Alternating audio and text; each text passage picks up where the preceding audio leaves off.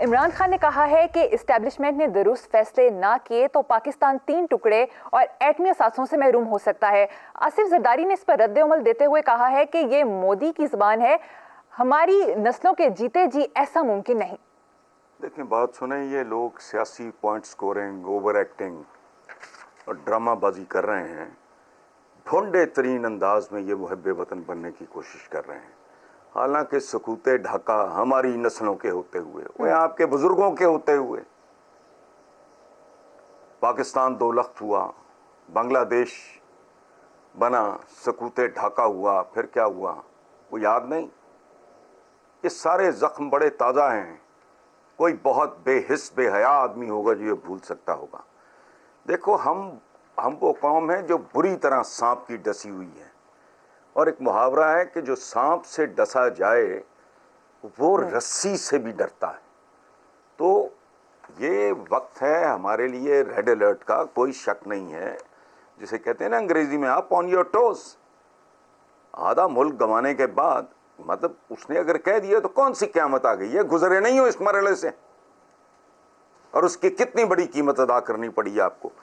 और हाल आज मुल्क का क्या है कि इकतसादियात से लेकर अखलाकियात तक का जो हाल है वो सामने है। और यही दो गाड़ी के पहिए होते हैं किसी मुल्क में। नंबर वन अखलाकियात नंबर टू इकतसादियात। दोनों पहिए टूटे हुए हैं पंक्चर नहीं है। टूटे हुए हैं स्टेपनी मौजूद नहीं है। तो अगर इमरान खान ने ये बात कर दी, नागवार गुजरती है, तकलीफ़ होती है। डॉक्टर जब कहता है कि जी, अब दुआई करें। तो ज़ाहिर है दुख तो होता है तकलीफ़ तो होती है लेकिन उसने एक तशखीस की है। यकीनन उनके बयान को हाँ, गलत उस... रंग देकर बयान करने की कोशिश? नहीं गलत सही की बात नहीं मैं आर्गुमेंट की बात कर रहा हूँ। गलत सही को छोड़ें।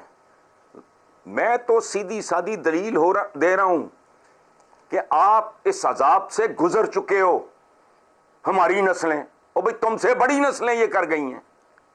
जी यकीनन के उनके बयान को ज़्यादा ही गलत रंग देने की कोशिश की लेकिन हसन साहब इस पर अब वो उनके इस बयान के ऊपर मुकदमे बनाने की तैयारियाँ कर रहे हैं। मैं कहता हूँ बहुत अच्छी बात है। इस मुल्क को जो लोग इस हाल तक आए हुआ क्या है? जिसको जितना वक्त मिला उसने उतना ही बेड़ा गर्क किया।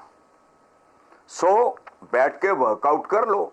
उसी हिसाब से गद्दारी के मुकदमे चलाओ। मुकदमा नहीं मुकदमे चलाओ उसी हिसाब से सजाएँ दो।